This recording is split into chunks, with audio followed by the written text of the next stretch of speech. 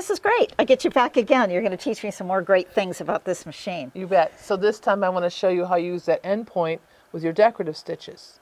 Decorative stitches. Mm-hmm. Okay. Okay, so first on the screen of the machine, you have to touch that icon over there that says character and decorative stitches. Okay. Mm-hmm. And it asks you, it's not going to delete the stitch out of the machine, it's just asking you, are you sure you're done stitching this stitch? So you just say last okay. one. Okay. Mm-hmm. Okay. All right, now look at that. Folders. Yes. Numbered folders. that means if I tell somebody to go to stitch 8003, they know what They I'm know which talking one is eight. Oh, this is Exactly. not the second star on the right. Like in this. okay. So I would like you to go to seven, please. I can do that. And uh, just to make this a visual, so you understand what I'm trying to tell you, I would like you to select stitch 7 033. So it's on your next page. Three, three. So I have to scroll through. Mm-hmm. Okay. There it is in the top row. Got it. All right, it's a simple little scallop. Mm-hmm. I did this on purpose for you. Because what you're going to do now, yeah, well, I know. You keep it easy. That's okay. okay. So what's going to happen is you're going to stitch on this fabric, and it's going to be stitching scallops. But when you get to the bottom here, you want to actually turn the corner, but you want a complete scallop. Right. Okay, so you're going to put your fabric in under the foot, and before we do that, look, it says it needs the foot N. Okay. So get your accessory tray. Oops. Yeah, yeah, yeah. Okay. I know you like I love doing that. Okay.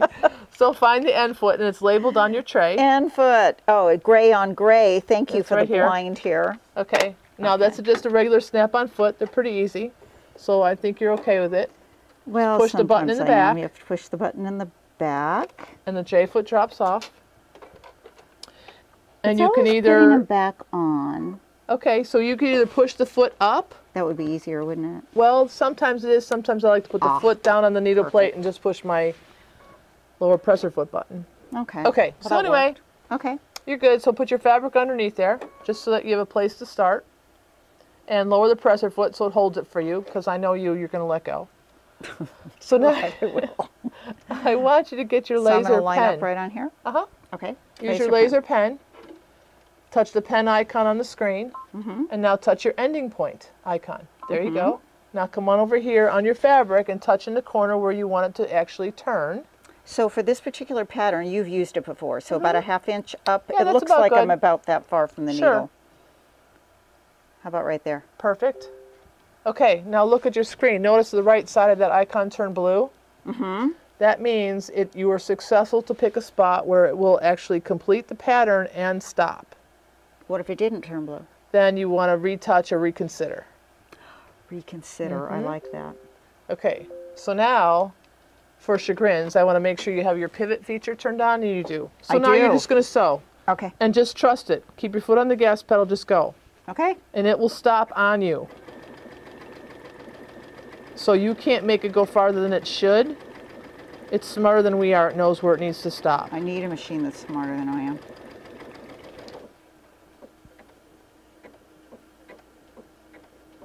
Okay, now just pivot your fabric Okay. and go. And the foot lowers and goes, and you'll see that you have a completed pattern on either side of that turn. Now, while you're stitching and you want to finish Oops. this, while you're pit, I'm not holding it straight. just Go ahead. Just okay. When you're stitching, keep Mm-hmm. this button and depress it, and the green light turns on. Mm-hmm. Now it's going to tie at the end of that pattern for you.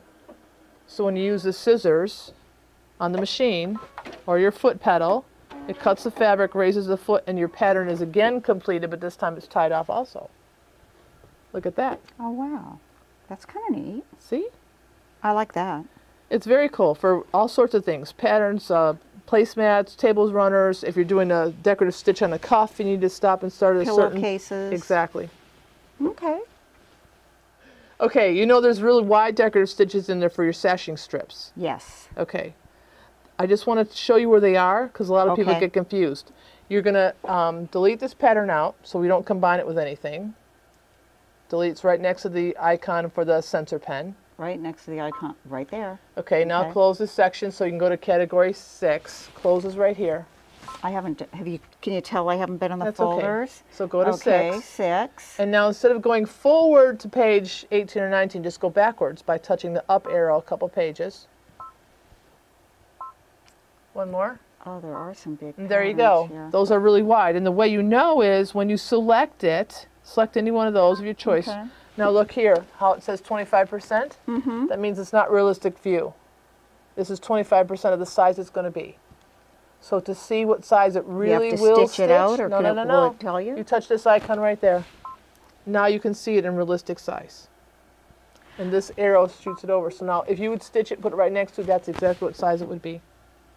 So basically, my sashing would have to be as wide as that mm-hmm. area on the screen, which. Well, and what, we left it at the default inches? side, yeah, and we left it at default. You do have large and small, so if your strip is a little narrower, you have another choice. Okay. And it's great for using like if you want to do it just down a side of one placemat. Or pillowcase. or a pillowcase top, right, or a curtain tie back, and put it down the center of a curtain tie back. you know, you keep trying to drag me into that whole home dec thing. Well, okay. You know, That's one way to keep you from making me turn into a quilter. Okay. All right, so you want to close that screen if you're going to really stitch this out. And this one I like to use the laser guide okay. just because it helps you keep it going straight. So whichever, put the, touch the laser icon. I kind of like those tulips. Can I use that one instead? Well, sure, but then delete first so that the other one's not in there already. Delete ah, twice. so we have a combination stitch. Right. Okay, got it. Okay, now you're good. So now I put the laser guide on, and all it's going to do is help you to see that you have your fabric straight. Okay. The line's not going to move, so you just have to keep it parallel to your project. So if you're in a, okay, Mm-hmm. I don't know how closely, you know, you can see this, but this plaid is really off. Mm-hmm. So if I'm stitching, holding this parallel to the print, that means that it'll do this way. If I want it parallel to the edge, I have to hold this parallel to the edge, right. correct? And then you also want to notice it on your screen. See how the stitch starts in relationship to the foot? Mm-hmm. That's how you know which side of that foot the, the actual stitching is going to happen. If it's going to stitch here and come this way of the pattern, or if it's going to go that way, so that if it was reversed, you'd know you'd have to move the fabric over so that you wouldn't run off the fabric with your stitch. Okay, Okay, so you just go ahead and sew. just sew. Mm-hmm. Oh, this is kind of freaky. Yeah, but see, you just watch this to this. Don't watch what's going on. Don't watch your needle. Just watch that your line is parallel to what you've decided to make it parallel with. Like you said, either the outside edge of the fabric or, or that the pattern. hmm I'm either one. going with the plaid, Okay. which may not have been the smartest idea in this case, but But it works. wow. It's just that easy. Do we have to sing the easy song? No. The It's So Easy No. song? I think I'm glad of that.